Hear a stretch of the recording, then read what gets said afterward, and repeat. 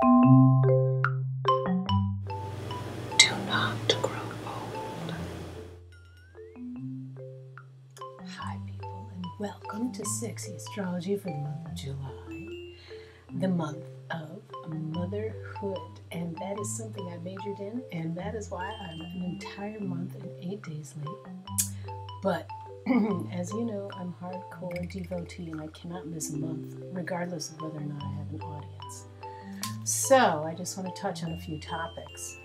Being that Mars is finally into Libra, or was in the month of July early on, and that Jupiter in Gemini is still current and was at the time, and Saturn completely and fully in Libra, we have been having a lot of what is called there's a grand squarish aspect between the Saturn Libra, Uranus, Pluto, and then the Sun in Cancer, uh, Pluto in Capricorn.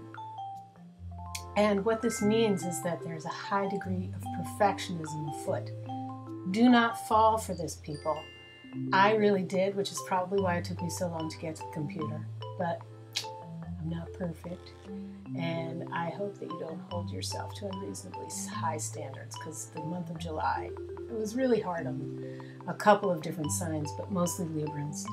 And certainly, mostly people who tend to be driven towards perfection. Okay, so that's all I want to say about the general aspects of the month of July 2012. And here now, your horoscope.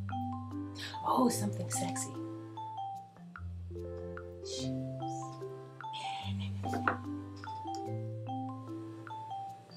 Hello, dear Capricorn, for July 2012. Well, this would be the one month that you probably are not having such a great month out of the year.